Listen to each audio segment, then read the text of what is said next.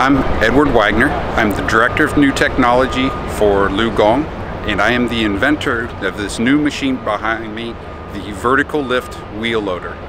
This is the first and only vertical lift wheel loader in the world. So what does vertical lift mean?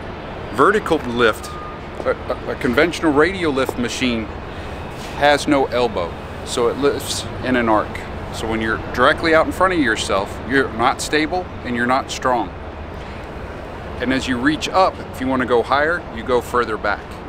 With the vertical lift, we've put an elbow in the arm. That allows us to lift straight up. So here in this position, we're more stable and more strong, and we can put the dump height and dump reach wherever we want. So the net effect is, for the same size operating weight, we can put on a 30% bigger bucket, we lift it two feet higher in the air and we reach one foot further forward. So to show you the arm a little bit, over here, this is the shoulder pin.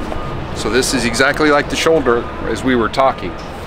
Up there between the gray link and the yellow arm is the elbow. That's what's new. And then of course, at the bucket is the wrist pin.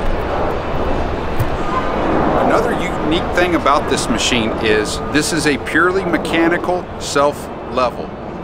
So this is a Z-bar machine. The bucket behaves exactly like a normal Z-bar machine, but we've managed that with a mechanical linkage driving the bucket cylinder. No vertical lift skid steer loaders level the bucket mechanically. They all use electronic self-level or single direction hydraulic self-level. We've done it mechanically. Our customers like that. That's more simple. So for this wheel loader, we carry over systems and part numbers from our current radial machines.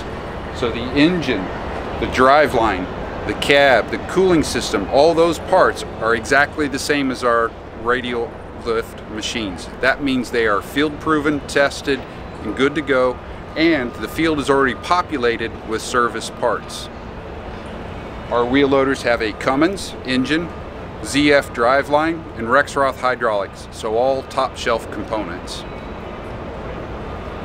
So, at the end of the day, for a given size machine, we lift that 30% bigger bucket, we go two feet higher in the air, and reach one foot further forward.